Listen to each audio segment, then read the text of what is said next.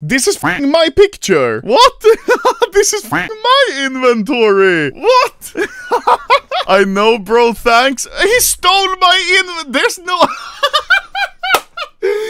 There's no way! Check my Steam, I copied your inventory to get more girls. I saw it just a picture and I was like, wait, who, whose inventory is this? Is some sick skins. And I see the souvenir. I'm like, wait, I had one. And then I see the Dignitas and I'm like, wait, I had one. And then I see all the gems, which I always do. Copied your inventory to get more girls. Bro.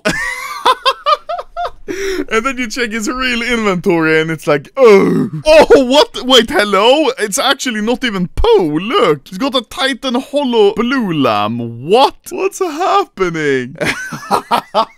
he stole my inventory. How do you have this picture still? This is my old inventory. This must be like half a year ago or something. I know it's been there for a while. Oi. In matchmaking, everyone messages me for knives.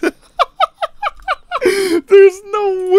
Oh my god. You literally are gaslighting people into believing that you are a big flexer. Oh, 69 unique visitors. No way. This is actually a really funny idea. Sadly, it doesn't fit with your like background, but still. Bro copied to pull girls. Alas, he pulled the plug. I am not gonna tell you to remove this or whatever. This is really funny. When I saw it first, I was like, uh?